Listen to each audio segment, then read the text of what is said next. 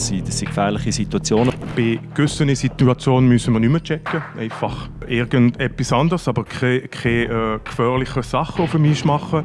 Wir Spitzensportler sind so, unser System sind eigentlich so fein-tuned, oder? Ja, einfach draufstehen ist noch eins. Box. Radio FR Kühlbox. Hallo zusammen zu der Kühlbox. Neues Jahr, neues Dekor. Ja, heute das Thema Hirnerschütterungen. Man kennt es aus dem Eishockey, ging um das Problem. Wie schlimm ist so eine Hirnerschütterung und wie lange kann man an so einer Nachfolge leiden? Das ist ein Thema, das wir heute klären, unter anderem mit dem Philipp Vorrer, Verteidiger von Fribourg-Gotron und dem Radio FR Gotron-Experten Real Remy. Salut zusammen. Hallo zusammen.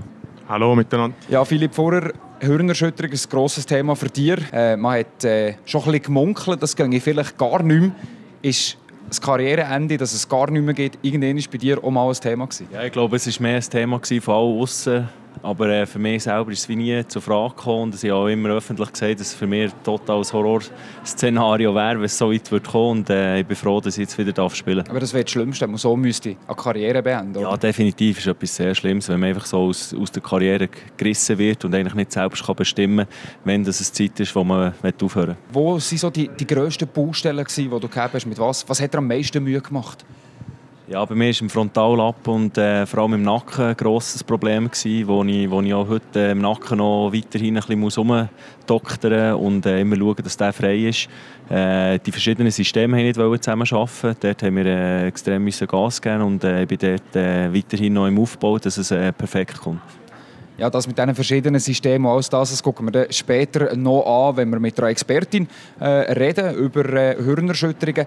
Real Remi, auf der anderen Seite, selber auch Spieler gewesen, selber auch Nazi gespielt, selber mal konfrontiert mit einer, mit einer Hirnerschütterung. Ende 90er Jahre ist es passiert, äh, aber äh, wenn ich so eben äh, Situation höre, habe ich auch Probleme mit dem Licht. Äh, mit, ähm, ja, früher war es halt als jüngerer Spieler die Playstation gewesen, nicht mehr können spielen und zum Glück hat es nicht lange gedauert, wo ich weiter können spielen aber es war nicht so bekannt gewesen früher, ganz einfach. Aber dann hat man ja, kurz eine Pause gemacht und weitergespielt, oder? Ja, genau. Ja, ein paar Tage eben daheim geblieben oder sogar probiert zu trainieren, aber der Kopf hat einfach wehgetan oder eben Licht hat Probleme gemacht. Wir haben gesehen, oh, ich habe ein bisschen Kopfweh, ich weiß nicht, was da los ist. Und fertig, wir sind ein bisschen gehöckelt und gewartet. Aber äh, ist schlimm, es ist vor 20 Jahren auch, wir haben von das nichts gewusst. Seit längerem jetzt, ähm, dass man im Voraus guckt, präventiv guckt, dass es schon gar nicht passiert. Du, Real, bist äh, eine Zeit lang Juniorentrainer bei Fribourg-Gotteron, aber auch bei der ZSC Lions. Was macht man dort gerade mit den Junioren in präventiver Hinsicht für Hirnerschütterungen?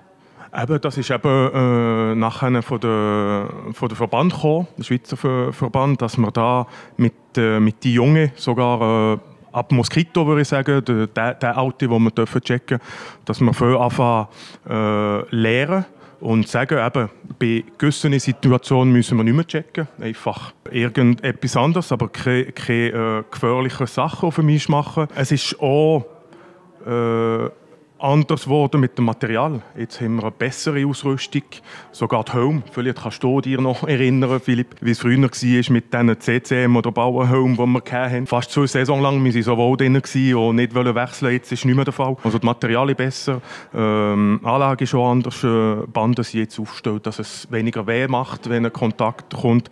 Jetzt ist immer das Problem in diesen Winkeln, also wenn man nicht sieht, dass jemand mit, äh, mit den Augen kommt, das, äh, da kann der Spieler nicht viel machen, aber Check an der Bande ist schon seit langem bei den Jüngeren äh, verboten. Und schlussendlich mit dem älteren Jahrgang, ich rede jetzt von den Novizen, Elitestufe, Junior-Elitestufe, muss da nicht mehr viel machen.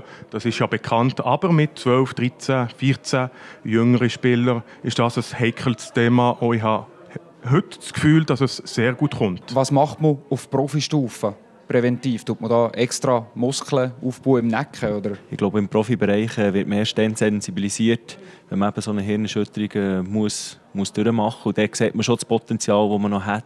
Ich sehe immer noch auch bei uns, äh, bei unserer Liga, dass man zum Teil falsch an die Böcke fährt oder dass man gefährliche Träger macht, kurz vor der Bande. Und das sind, das sind gefährliche Situationen, die jetzt mit dem neuen Material, das natürlich einen unglaublichen Speed in, de, in das Spiel hat reingebracht, natürlich ganz andere Kräfte äh, da wirken. Das also die ganzen Probleme, die man hat mit Hörnerschütterungen. Jetzt aber die Frage, was überhaupt ist an Hörnerschütterungen und wie genau sehen die Langzeitfolgen aus. Wir haben mit einer Expertin geredet, mit der Frau Dr. Nina Federmann, der Leiterin vom Swiss Concussion Center in Zürich, der Martin Spinde, hat mit ihr reden eine Gehirnerschütterung ist durch einen kurzzeitigen Verlust der normalen Gehirnfunktion als Reaktion auf eine Kopfverletzung charakterisiert.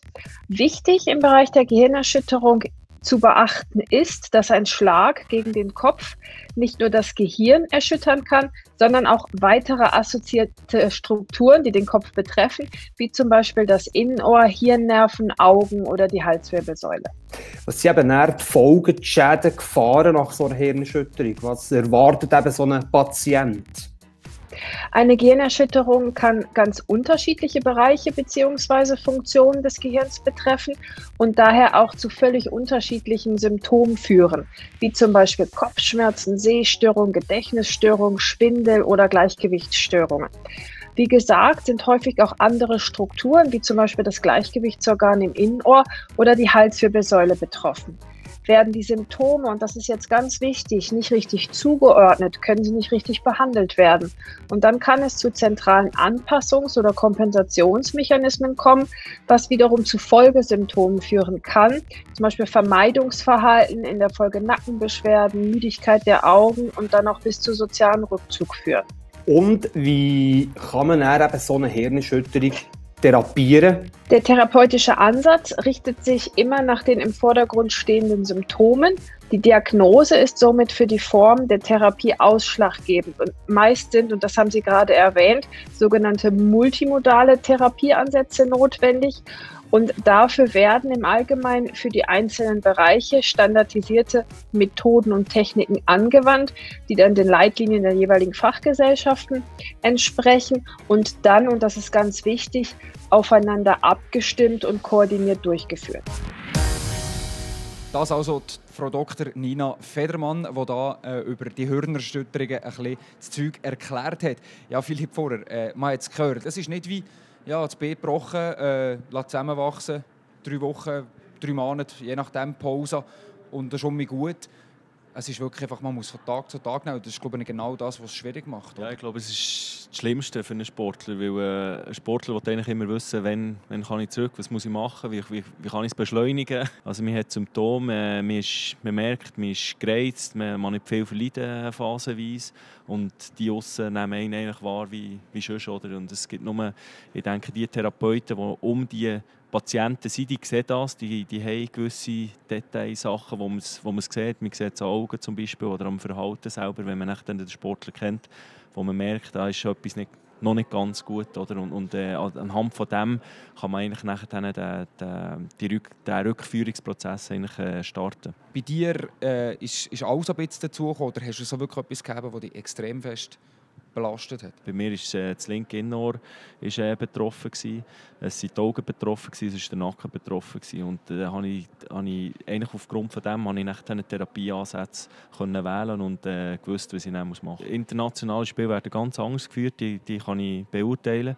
Dort habe ich gespielt und das ist einfach, es ist unglaublich, die korrekten Checks, die man eigentlich dort hat. Also es gibt sehr wenig dreckige Sachen, auch international ist es auf einem sehr harten, hohen Niveau, aber sehr fair. Und ich glaube, das haben wir, dort haben wir sicher einen Schritt machen äh, Wir haben einen Schritt machen mit, äh, mit den Bussen, die wir aufgesetzt haben. Wir haben einen Schritt machen mit den Banden, die endlich flexibler sind wir sind immer noch nicht so flexibel wie international. Wenn ich daran denke, an Stockholm 2013, äh, die Banden dort, äh, da kann 100, 200 Kilo machen und du weißt einfach, ah, kein Problem, ich kann den Check annehmen.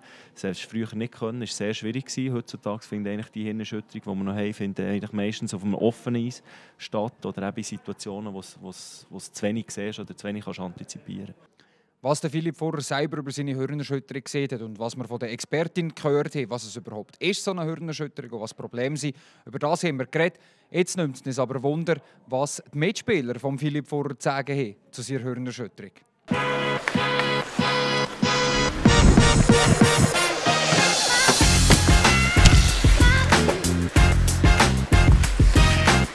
Julian Sprunger, es geht um das Thema Hirnerschütterungen. Ich glaube, du hast äh, gar nicht mehr erzählt, wie viel das sie schlussendlich in deiner Karriere. Nein, ich glaube nein. Ich muss nicht, das nicht sagen. Sicher, das war eine. Ich habe viele gehabt äh, Verletzungen mit, äh, mit dem Kopf, aber äh, ich glaube, das ist äh, sicher eine Verletzung, die ist, äh, die kommt sehr oft jetzt. Äh, schnell, das Spiel geht so schnell, Spieler sind so groß und es, es, kommt so schnell. Aber ich glaube, das ist ein Thema im Hockey. Wir müssen das weniger wie möglich, aber sicher, das ist nicht so nicht so lustig, wenn du eine hast. Ja, ja also die große Challenge ist sicher, dass es eben halt auch sehr viel neuronal ist. Also Kopfsachen sind immer schwierig, äh, langwierig.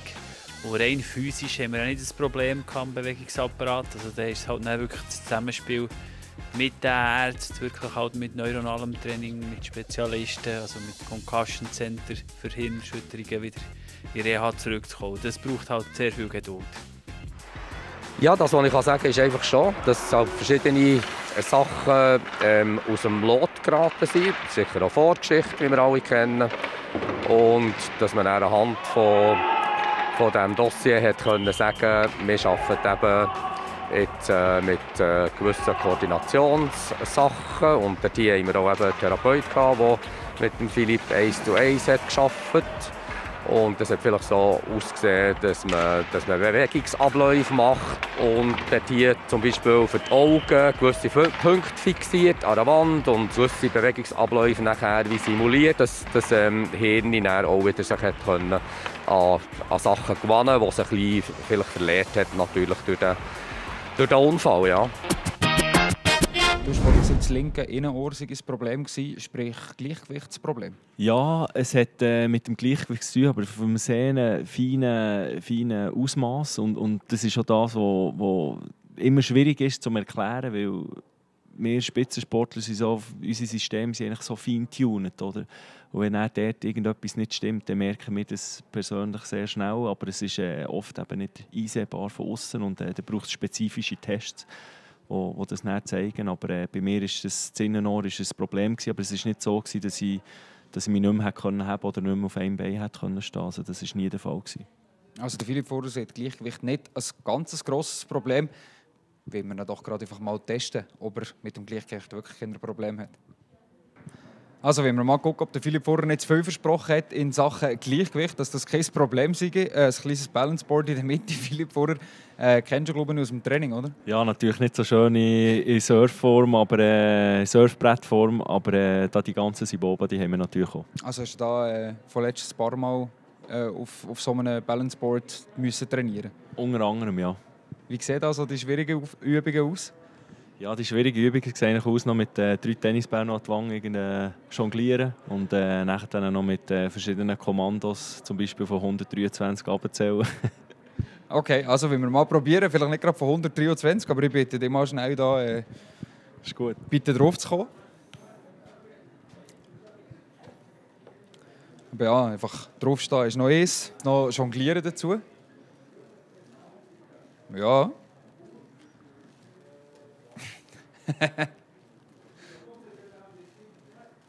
nicht schlecht, nicht schlecht. Ich bin beeindruckt. Noch jonglieren dazu, das bringe ich nicht her. In diesem Fall Gleichgewicht wirklich nicht so ein Problem. He? Nein, das haben wir zurück. Das ist gut. Also, der Philipp Vorher ist, äh, ihr seht es, tiptop unterwegs. Also Gleichgewicht gar kein Problem mehr für die Zukunft, auf dem schon mal zu schlöfeln. Das hindert ihn auf jeden Fall nicht daran. Also der Philipp Vorher hat es bewiesen, Gleichgewicht kein Problem. Und jetzt wollen wir aber gleich noch ein bisschen über Gotro im Allgemeinen reden. Äh, an strenger Januar ist es mit zwölf Spielen. Ziemlich ein happiges Programm von letzten so ein. Ja, ein Up and Down, vier Siege und zehn, sechs Niederlagen aus den zehn Spielen bis jetzt im Januar. Du bist äh, ja, der Hälfte bist dabei gewesen, die andere Hälfte hast noch zugucken.